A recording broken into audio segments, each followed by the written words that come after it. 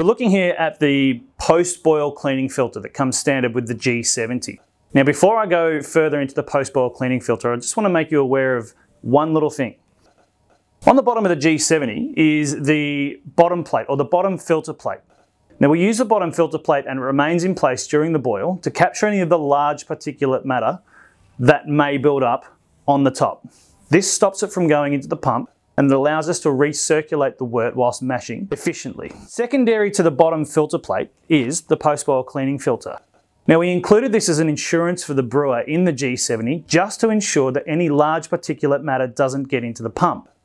I use this after I've cleaned the Grainfather just to make sure any large hop pellets or hop cones or hop flowers don't actually get into the pump and potentially block it up. It is just an insurance.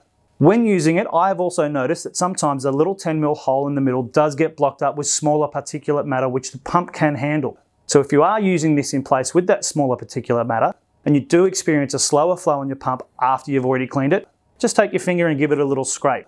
Just remember, this is designed to capture those large particles just to protect your pump. It's not actually necessary to put it in place in the Grainfather, it's just an option for you as the brewer to use.